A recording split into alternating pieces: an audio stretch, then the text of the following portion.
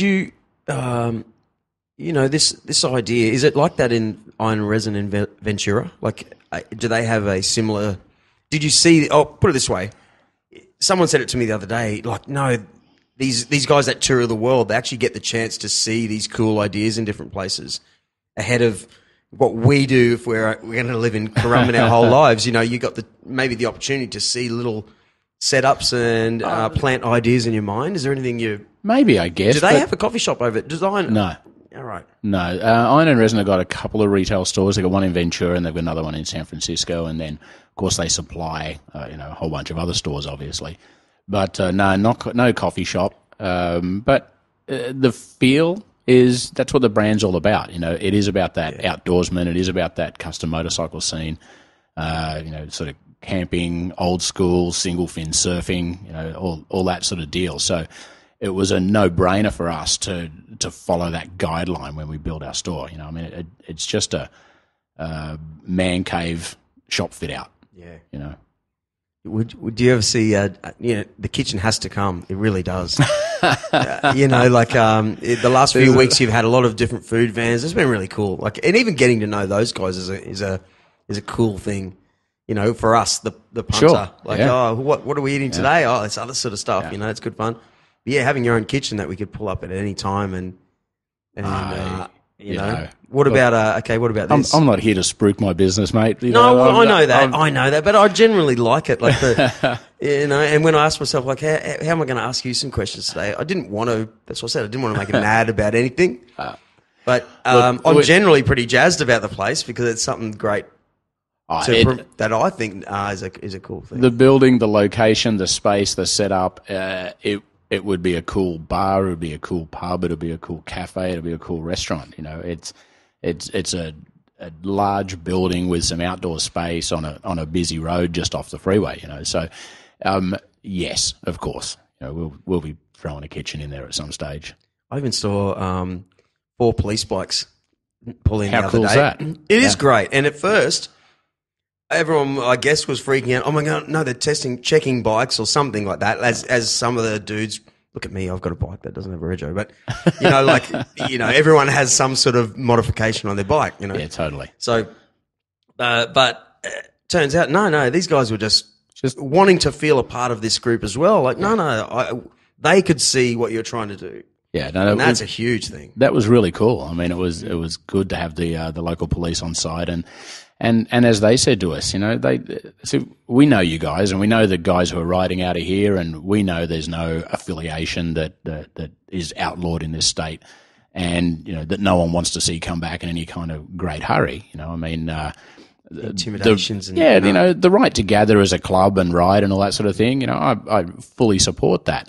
The uh, using that as a power against other people, you know, uncool and and not fun. And that that's a Which is- reason. yeah. That's the reason that, that they're not around as much anymore. You know, I don't want to upset anyone. I, I, you know, I love riding with my mates as well. So. You know, we want more people around, but the police have said we know who you guys are. We know you don't all ride like crazies. You're all not trying to break uh, land speed records over Tomewin. So no, we're we're cool. We're going to come and have a coffee here, and you, know, you guys are pretty cool. And who built this? This is pretty sweet. I like what you've done with this bike, and you know that it's good. Exactly. There's there's no doubt. Bike riders are bike riders. You know, we're we're a, we're all a family, no matter what your extracurricular activities may be off the bike. You know, Yeah, and they're no, and they're not going away. That's the other thing. So to have that period where they sort of ran a certain uh, thing out of town, you know, Yep. where um, that's, uh, Max Stuff was sitting in this um, from Death Collective. You stock his stuff, in your Yeah, shop, you bet. Yeah, right? Max Well, Max is a good rider. We ride together a lot. Good yeah, well, I said it to him. I said there was a for me. Just uh, again, I like I like bikes, you know, but I also like the the rock and rollness of a bike. Yeah. Like, so to uh, not that long ago, when when owning a Harley meant you know big gold chains and like and intimidation, it wasn't rock and roll at all. It was kind of uh something that I, I was just confused me. When will music and, and guitars get back, music and motorbikes get back together, just like that? Yeah, like exactly. right now. Well, I'm not going to profess to know anything about one bike club culture or you know the legalities or what they were or were not doing by any means whatsoever. But um, you know, the, those guys were a a, a group, were a, are, are a family. Those clubs, and and they use that power in ways that they wanted that, that they may or may not want it, the rest of the public to know about. You know, and so the police obviously saw it as a threat and, and had to shut shut them down, move them on. Um, I I didn't personally ever experience anything like that, so you know, there's no way I'm going to say whether it's right or wrong. You know, but um, there is nothing better than a whole bunch of your friends all sitting on motorbikes, uh, you know, rocking over a hill, and you look in your mirror and just see a line of bikes behind, and you see a line of bikes in front. You know, eh, if that's what a motorcycle club is, then I'm 100% behind that. If it's a front for other activities, well, that's probably not cool. Yeah, where you can't smile. You know that. That's what I really mean. Like, you know, what do they say in Death Collective? Ride bikes, have fun. Sure. You know, and and yes, it feels like there's a million dirt bike riders now with these cool bikes, and they've Yeah. got a place to go at your shop. You know, Oh yeah, definitely. We we, we love all bikes. You know, there's no doubt about it. Just like you, we love motorcycles. how many bikes know? you got? And you were going to ask me this, and now I'm going to have to. I'm going to Yeah, have to think. And you have told me before, and you did the same thing. All right, Uh, so let me go one, two. th- I I think I own maybe five or six at the moment. Uh, what's your favorite? you can't play. Which one's your favorite kid? Oh, that's easy. okay. Look, uh, What do you ride? Okay, what's what's the one you ride? I got to go to the shops. Bang. Uh, at the moment, it's my KLR 650. So it's a Kawasaki road trail bike that I bought as a, as a adventure touring bike. You know, the full fairings, the saddlebags. You know, built to ride across the desert. I don't like things staying as they were built and as they were meant to be. So I definitely ripped into that, and I've turned it into a little bit more of a uh, sort of dual sport scrambler type thing. I've been riding that a lot lately, finding the incredible dirt roads around here and just you know hammering through those. It must be comfortable. Hey, it must. Oh, it must be sprung Oh, you can. Uh, yeah, you can take it off road and you can ride it all day. You know, and a good buddy of mine, Mark from Rubber Jungle Wetsuits up the road, he's just built one as well. And so every afternoon, every chance we get, we're jumping on those things and looking for a dirt road. You know, we're not we're not tearing up people's properties. We're not looking for you know runs through the bush, through the national park, etc. Just the dirt roads. I mean, the amount of people who live on the Gold Coast and probably don't realise what is 15 minutes away from the, the shiny high rises. There's some incredible, just beautiful rainforest roads out there. Yeah, and uh, you're right. You're so right. When you don't have something about winding your windows up and being these air conditioned. Well, who- put it this way: last time I came back from Japan, my car uh, was getting fixed. I had to hire up at Palm Beach rent a bomb. They had a, I, I hired this station wagon, 1992 station wagon Ford. Didn't have aircon. Had to wind the windows down. It was the best experience of my life lately. Like, uh, That's great. I actually got to smell the cooking and Yeah. like you could you, you felt the the it was a real just like being on a bike you know which is what you get to do on a bike you can smell different bits of um go past trees and Yeah. all that sort of stuff and and I'll slow down here and have a look down this the rainforest just out the back here is incredible for that. Just the the freshness. Just once you get off the the strip down here, once you get away from the beaches, you know it, it's incredible up there. The, the farming, the rainforest, the sort of open roads, and, and you can ride for days. You know the rides around here are without a doubt world class. When I was in the states a couple of weeks ago, we rented some Harleys and rode those around California. You know, took them into San Francisco, etc. And it was amazing, but the roads here just floor those in a heartbeat. yeah and we still got that you know look out the back there Mount Warning or oh, whatever you call it you know Yeah.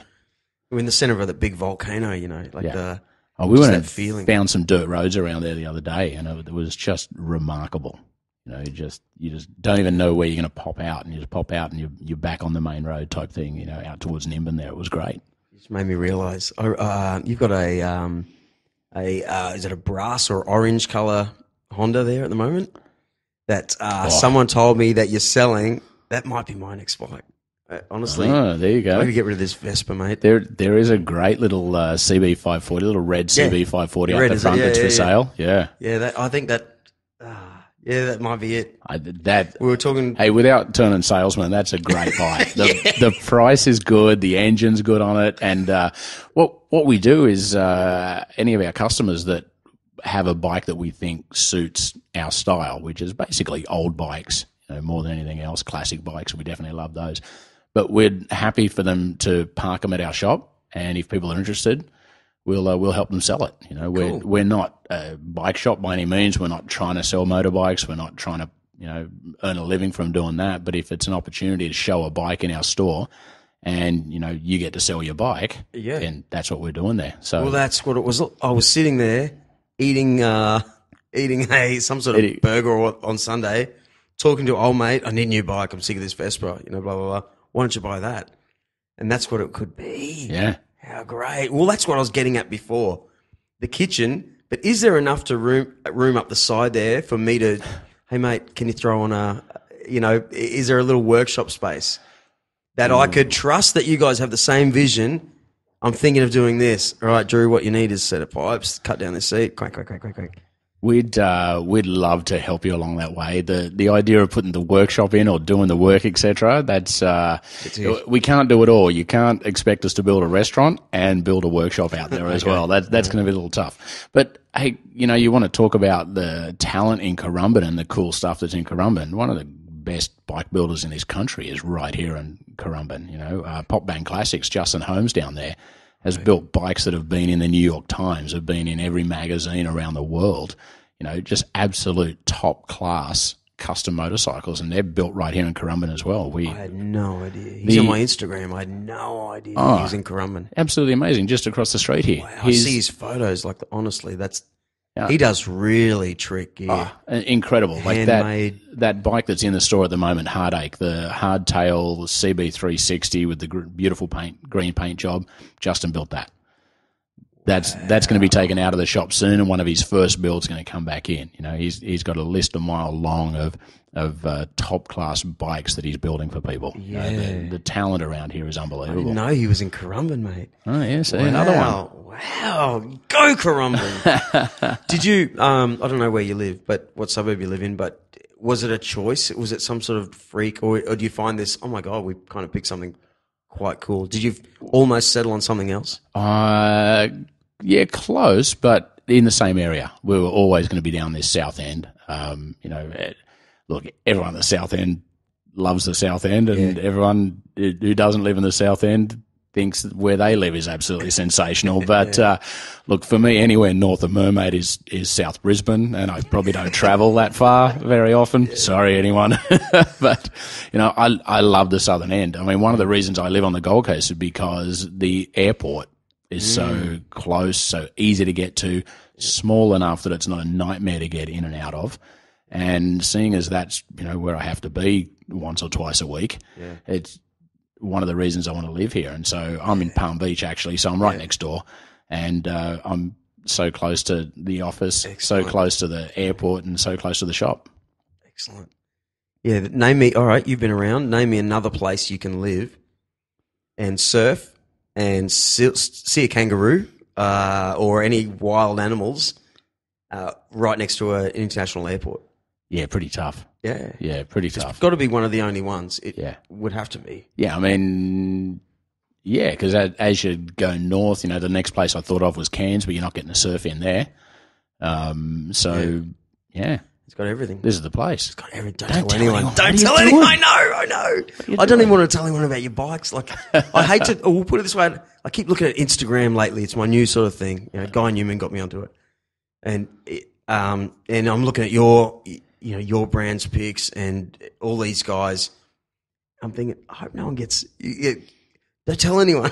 I see all the backdrops of where these mountains are and stuff, Yeah. and go, oh, it's so good. I hope we hope we contain it into this great little. Uh, you know, it's always fun. It's always um, I- exactly how it is now. I, ne- I never want anything to change. That's what I mean. Yeah, that's true. So, yeah, so stop developing Gold Coast. Yeah. Leave it as it is. We're happy. How are you? I'm having a great Yeah. time. Yeah. Are you okay? Where Where will you go next? Are you? Have they already booked a next show?